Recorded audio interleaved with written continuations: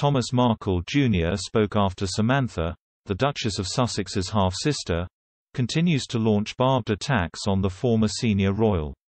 Following the former Suits actress, 39, explosive interview with Oprah Winfrey earlier this month, Samantha claimed Meghan has used her mental health to treat people like dishrags.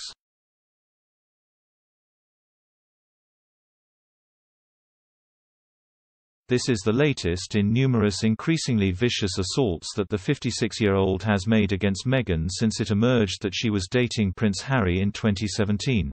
Now their brother has added his two pence worth, claiming that Samantha's horrid behavior is fueled by jealousy.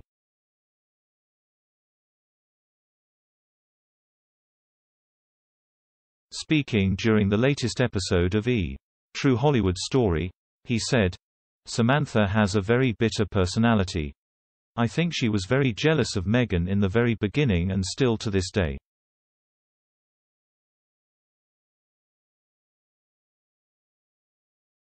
As well as airing her dirty laundry in public, Samantha has used her links to Meghan for commercial gain. Samantha, who currently lives in Florida, recently published the diary of Princess Pushy's sister Part 1 claiming to be a tell-all about Meghan.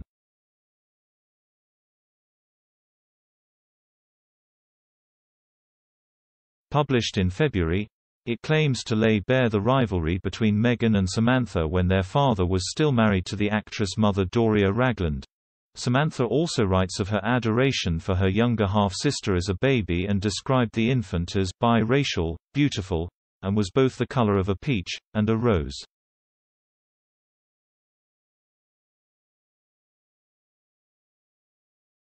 Following its publication the Duchess hit back saying she hadn't seen her sister in nearly two decades and rubbished claims she knew anything about her. Samantha hit back, claiming how can she not know me? When she said they have photographs together.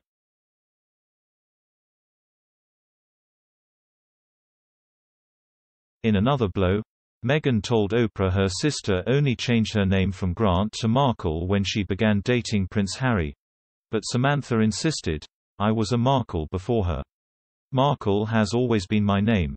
Meghan is the only child of her father's second marriage to Doria Ragland. At the time of her birth Thomas Markle Jr. and Samantha Markle, who came from his first marriage, were considerably older.